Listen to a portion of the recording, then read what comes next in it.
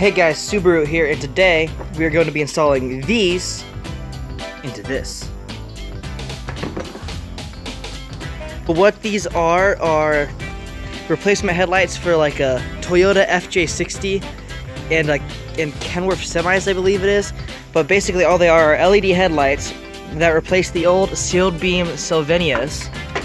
They've got the same three-point plug, and I'm going to put them in my brat I'll have a full review out on the channel once I'm used, once I like, once I know how they're like. But uh, basically, we take it. We're gonna take out this. We're gonna take the mounting hardware off of this, put it onto that. We're gonna put that there. So step one is remove the grill. I'm gonna remove this surround for filming purposes. You might not have to do it if you're doing them yourself, but I'm just gonna do it so it's easier to see for you guys. So step one for that is to remove this grill then we're gonna take out these two bolts and remove the whole surround. I don't have any bolts here or there, otherwise they would be in the way, but they're not. So now that we've got this surround removed, what we're gonna do is we're gonna remove the screw here, and I've already removed the screw here. There's a screw here, and a screw here, and then your adjuster screw. All these screws come out on both headlights. This one isn't really bolted in that well, I'm not sure why.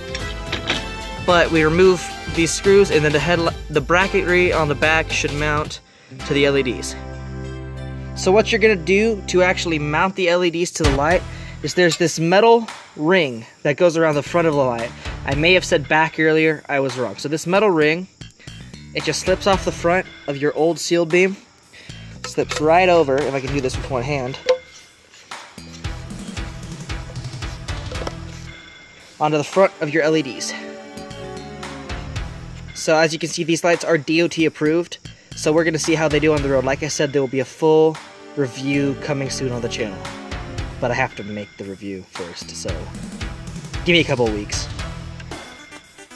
Alright, so I will I will say I did need longer screws for the mounts on the top. The bottom ones were fine, it was just the top ones. But look at that. You, we went from foggy and barely giving off any light. In fact, I think this one was burnt out to LEDs. So I'm gonna flip them on and show you how bright they are. So here's what they look like on low beam. They've got this T of light and it, it seems like the T of light's upside down to me, but the light, the words are the right way around. So we're gonna roll with it. If I have a problem, I will flip them around. I will make note of that in the comments. But here's the light. It's decently bright.